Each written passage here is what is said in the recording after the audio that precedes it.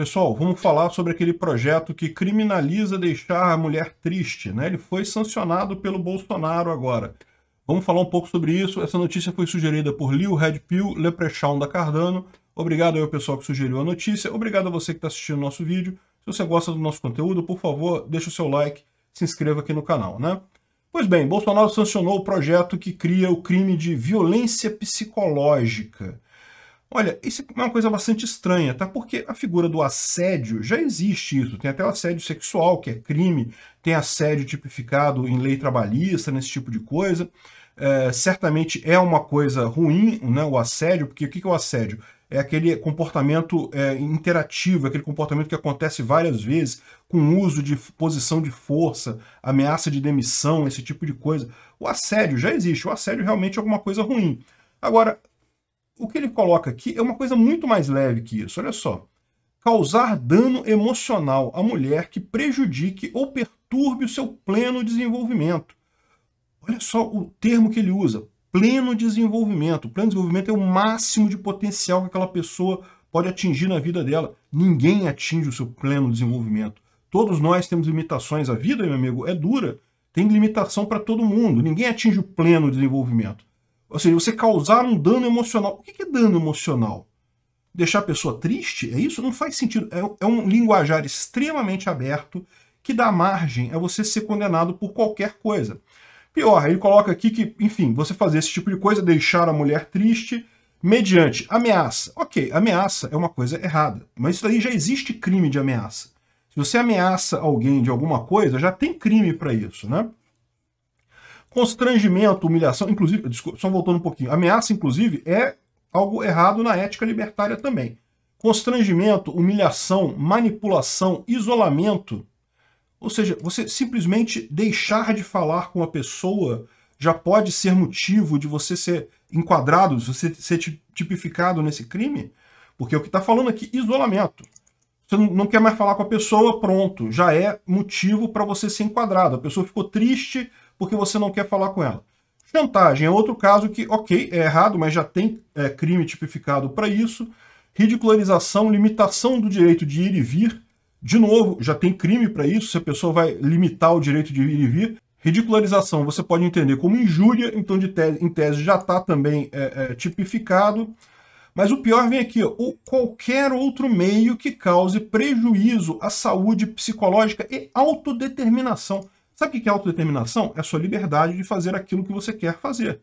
Perfeito. O problema é que, de novo, ninguém tem 100% de autodeterminação. Você não pode fazer 100% das coisas que você quer fazer. Você vai saltar de um edifício e, vai, e quer voar. Não, não vai, não vai funcionar, você vai cair.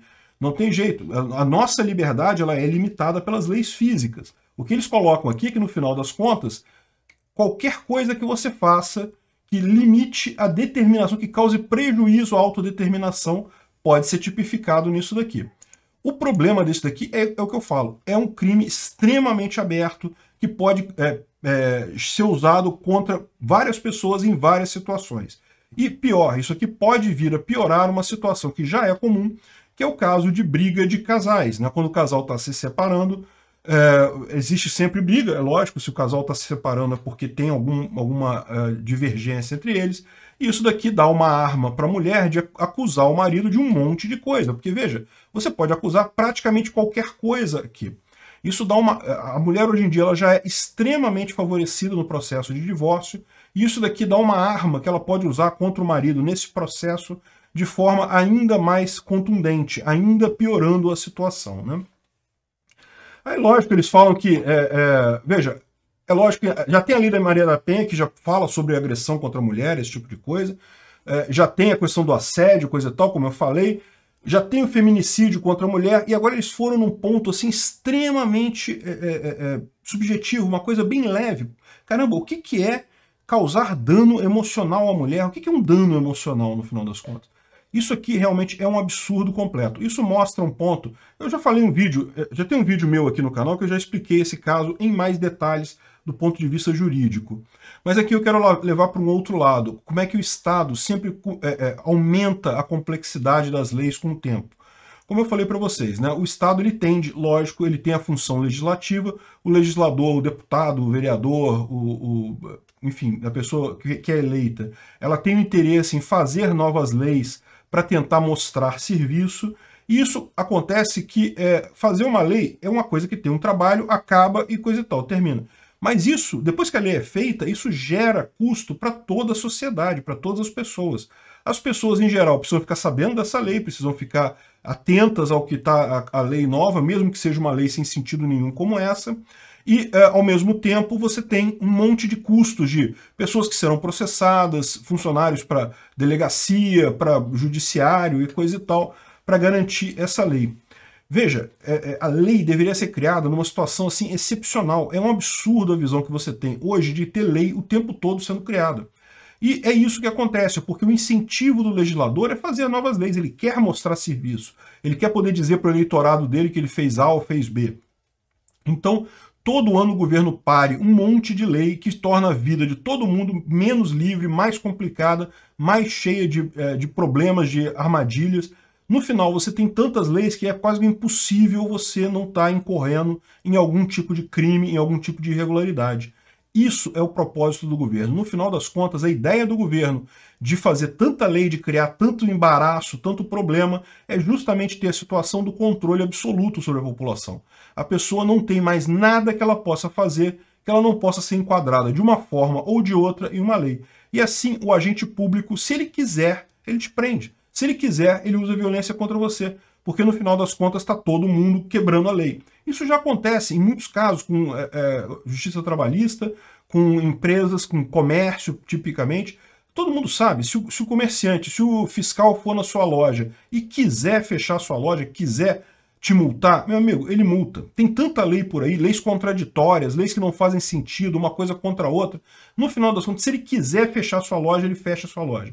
Se ele quiser te multar por trabalho escravo coisa do gênero, ele te multa. Porque é tanta lei, é tanto detalhe, é, tanto, é, é tanta é, coisa subjetiva que dá força ao fiscal ali na hora de escolher o que ele vai fazer. E aqui é o mesmo caso, coisas altamente subjetivas meio que cause, outro meio qualquer que cause prejuízo à saúde psicológica e autodeterminação. Caramba, isso é uma coisa assim que qualquer coisa pode ser enquadrada aqui. É, a, a, justificativa deles é que não, porque já tem, já tem é, é, leis em outros países sobre isso. Meu amigo, tem lei idiota em todo lugar do mundo. Esse, isso não é justificativa para nada. Tá cheio de país comunista por aí com as leis mais absurdas que tem. Esquece esse troço. Toda lei é ruim. Lei estatal sempre prejudica a sociedade. Não existe uma única lei criada pelo Congresso que seja benéfica para a sociedade. Só o justnaturalismo, só as leis que nós entendemos como naturalmente corretas. Por exemplo, é lógico, lógico que você vai falar o artigo 121 lá do, do Código Penal que é, proíbe matar pessoas, né? É lógico, isso daí é, é, é evidente que isso é justo. Mas olha só, isso aí já é no direito natural. O direito natural já reconhece uh, o, o, homicídio como algo errado, com exceção do direito de defesa, que, lógico, no artigo 121 tem essa licença também, você tem também a legítima defesa no Código Penal. Então, no final das contas, essa história de é, é, lei positivada, lei escrita, acaba servindo só para político ficar criando um monte de empecilho, um monte de coisa sem sentido e limitando a liberdade de todas as pessoas. Porque, veja, essa lei que você pode falar, ah, não, mas isso aqui é bom para mulher, porque isso aqui só prejudica o homem. Não, meu amigo. Uma mulher pode ser culpada disso daqui, tá? Você tem uma funcionária mulher e você chateou ela, deixou ela triste hoje. Ela pode usar isso aqui contra você, mulher também. Não, tá, não tem nada dizendo aqui que só homem pode ser condenado por essa lei aqui. Qualquer pessoa pode. Então isso daqui está causando uma limitação de. está tá gerando um crime altamente genérico que pode ser usado para qualquer um quer dizer, pode ser usado por mulheres contra qualquer um, inclusive contra outras mulheres. Esse tipo de coisa é realmente um caso de é, é, é, absurdo, mais um absurdo do Estado que fica entrando nesse tipo de coisa, né? que fica entrando nessa, nessa seara. Por que, que o Estado é, busca a mulher? A gente já busca proteger tanto a mulher. A gente já falou no outro vídeo, é por motivos políticos também tem explicação lá. Realmente uma coisa que só prejudica, como todas as leis no Brasil. Né? É realmente muito chato que Bolsonaro tenha sancionado isso daí, mas eu até entendo que ele não teria alternativa nesse caso, se ele não sancionasse, isso ia virar uma festa de crítica contra ele aí das feministas e coisa e tal. Muito embora não precisa se preocupar, porque as feministas vão criticar ele de qualquer jeito, né? Bom, tem uma outra parada aqui também do, da, do X na mão e coisa e tal, que sinceramente eu não entendo porque precisa de lei disso. O pessoal já usa isso hoje, já, já, é, um, já é uma prática comum e conhecida. Ah, não, mas vamos fazer uma lei com um X na mão para não sei o que lá. É o tipo da coisa que eu falo. Não tem lógica, não precisa de lei positivada. Positivismo é um lixo.